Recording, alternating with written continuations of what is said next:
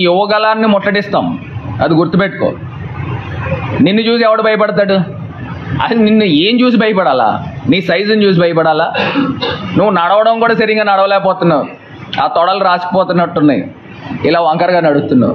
మళ్ళీ నువ్వు నాలుగు వందల రోజులు పాదయాత్ర ఏం చేస్తావు అని అడుగుతాం.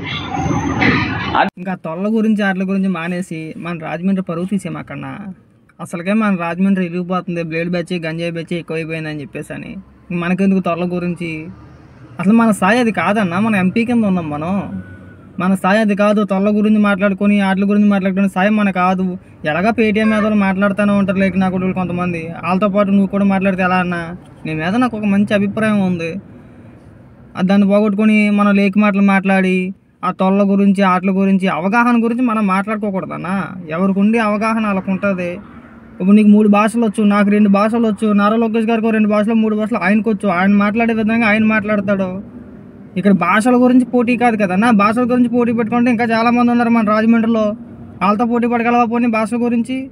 భాషలు ఇంపార్టెంట్ కాదన్నా రాష్ట్రానికి మనం ఏం చేసామనేది ఇంపార్టెంట్ మనం చెప్పుకునేది ఏమన్నా ఉంటే అది చెప్పుకోవాలి తప్పితే ఈ తొల్ల గురించి మసాజుల గురించి వీటి గురించి మనకి ఎందుకన్నా? మనం గతంలో ఏం చేసామని చెప్పేసాను మనం? కొన్ని మనం రాష్ట్ర ప్రజలకు ఏమైనా చేసామా ఎంపీగా గెలిచి? లేదే. మాట్లాడితే ఇన్స్టాగ్రామ్లో రీల్స్ చేసుకుంటాం మనం. లేదంటే ఇన్స్టాగ్రామ్లో ఎవరికైతే వన్ మిలియన్ ఫాలోవర్స్ వచ్చారో మనం వాళ్ళు తీసుకొచ్చి సన్మానాలు చేసుకుంటాం. అంతే కదా మనం చేసింది.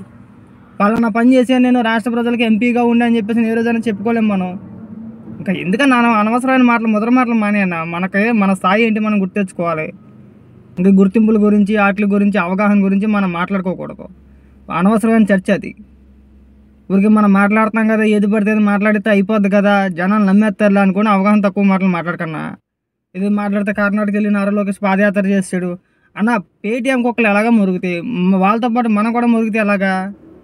కర్ణాటక రాష్ట్రంలో ఎలా పాదయాత్ర చేస్తారని ఒక విషయం నువ్వు చెప్పు. పాదయాత్ర చేయాలంటే పర్మిషన్ తీసుకోవాలా? వద్దా? మన రాష్ట్రంలో తీసుకున్నావా లేదా? ఇప్పుడు కొన్ని వందల మంది కర్ణాటక కర్ణాటకలోకి బోర్డర్ దాటి వెళ్తుంటే అవతల పక్క వ్యవస్థలు ఊరుకోవు కదన్నా. అక్కడ కూడా పోలీస్ వ్యవస్థ ఉంటుంది కదా మనలాగే కదా. వాళ్ళలా ఒప్పుకుంటారన్నా. మనకు ఆ మాత్రం ఇంగిత జ్ఞానం లేకపోతే ఎలాగన్నా? చిన్న లాజిక్కే కదా ఇది. ఊరికే మనం మాట్లాడుతామంటే ఊరికే ఎందుకు మాట్లాడతామో అర్థం పడతాం ఉండదు. మనం కూడా విమర్శించేటోళ్ళమే. తోళ్ళ గురించి ఆటల గురించి జగన్మోహన్ రెడ్డి సింహం అంటావు సింహం అయితే అవి ఉండొచ్చు తప్పలేదు మీ పార్టీ నాయకుడు నువ్వు సింహంతో అన్న పోల్చుకో ఏనుగుతో అన్న పోల్చుకో ఇంకో గుంట నక్కతో అన్న పోల్చుకో అది మాకు అనవసరం అది.